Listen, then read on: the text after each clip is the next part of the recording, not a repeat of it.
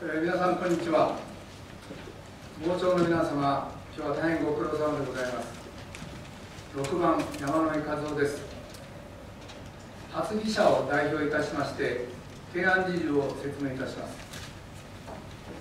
西方町の合併に関して民意に基づく合併の枠組みを選択するため町民の意思を確認する住民投票を実施したく提出された本条例は過去において2回同じものが提出されており今回は3回目でありますが前回と違い住民発議により提出されたものでありますので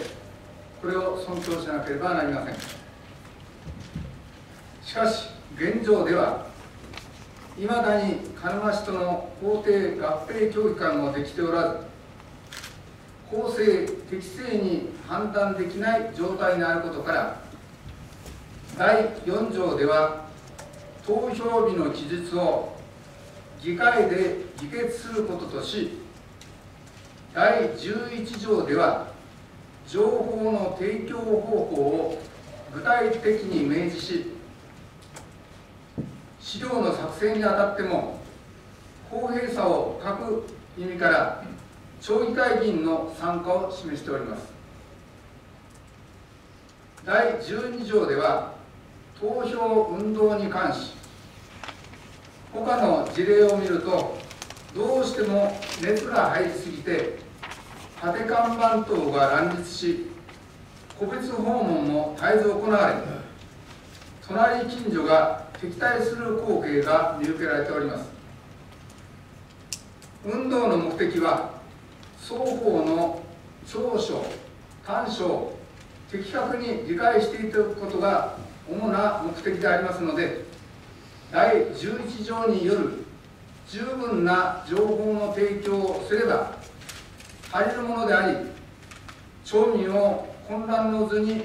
巻き込む必要はなくまた町民等の平穏な生活環境を侵害されますので必要ないと判断いたします。第16条の投票の結果の尊重については合併という後戻りのできない重要な問題でありますので少なくとも賛同者が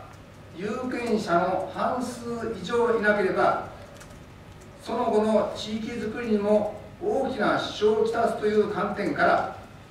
投票率70%じゃ失礼いたしました。投票率75%得票率70%以上を尊重しそれ以下の場合には参考とすると修正するものであります。以上提案の説明でありますがご理解の上ご賛同賜りますようお願いを申し上げましてご愛顧いたします。